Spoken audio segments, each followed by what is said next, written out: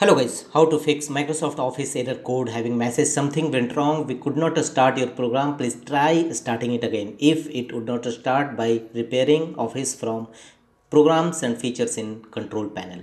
Here is the fixes. First Win plus press Win plus R shortcut key to open run command box and type appwiz.cpl press ok. It will open program and features. Here look for Microsoft Office 365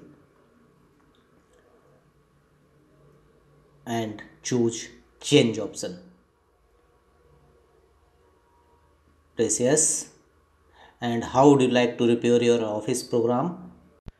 Click on quick repair and repair. A confirmation box will appear. Choose yes. The next Fixes is set Microsoft click to run service to automatic. Open services windows. In services windows, look for Microsoft Office click to run services.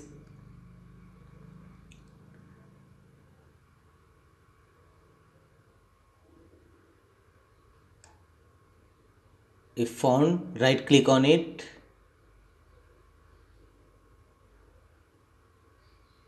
and choose properties here under a startup type set it as automatic. Press apply and then ok. And check your error is resolved or not. If not the third method is turn off windows defender firewall. Again go to run command box type control firewall.cpl it will open control panel box. Here click the turn windows defender file firewall on or off and turn Windows Defender Firewall under private network and public network both. And check the error. If not the next workaround is again launch run command box.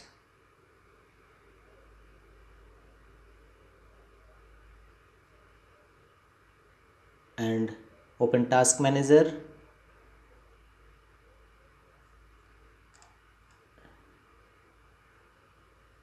and here Microsoft click to run service click end task.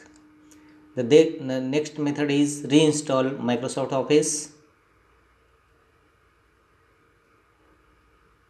open apps and features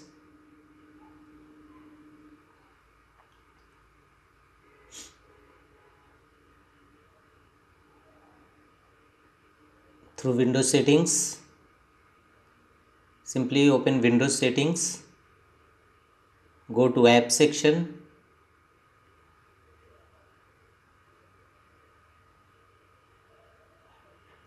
installed apps and look for Microsoft Office.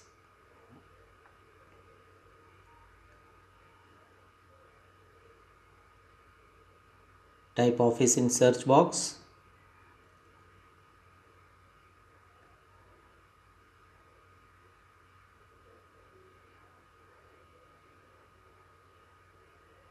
and click on three dot and choose on install. And rather reinstall it fresh. That's all